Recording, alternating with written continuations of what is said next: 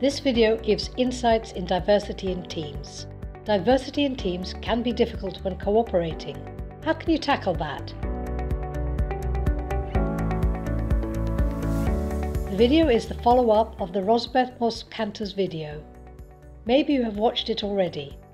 It shows the dynamics of diverse teams via X's and O's. This video is about X and O and what happened after that. It also explains more recent experiences and research. Diversity in Teams offers an excellent and proven method to work on diversity and inclusion in teams.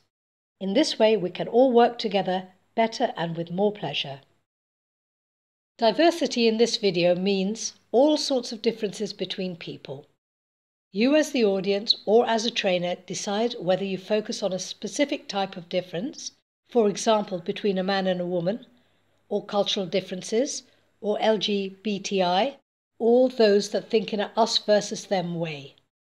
This can be the case among colleagues from different departments after mergers and reorganizations.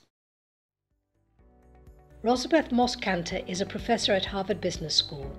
You can find her CV and links on the site and in the video.